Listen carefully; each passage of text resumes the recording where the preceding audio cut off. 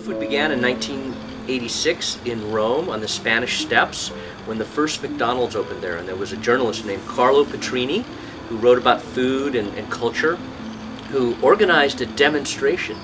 He got all his friends together because he was outraged by the idea of McDonald's arriving in the, the center of uh, Italian cuisine. And he got all his friends to come together and hold silently a bowl of pasta.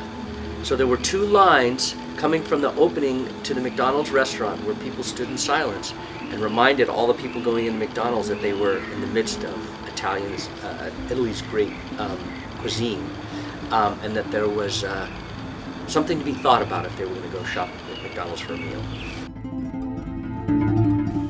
Slow Food is an organization that pushes a message of good, clean, and fair, all in regards to food.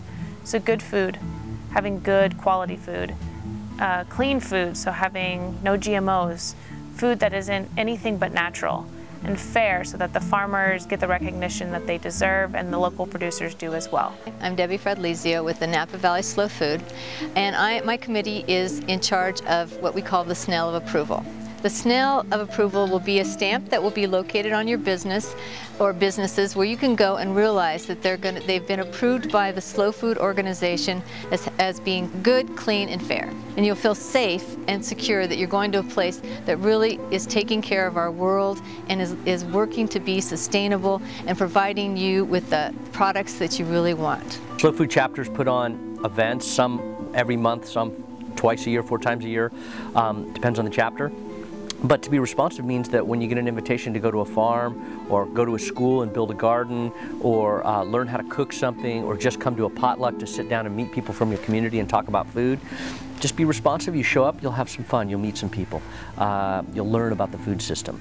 Or you, uh, the, on the other side, you can be more creative and uh, initiating and become a leader of a slow food chapter. I joined Slow Food in 2008 when I was selected as a delegate to Terra Madre, a large slow food convention that happens in Italy once every two years. I've been serving on the board for now three years and just became a chapter leader.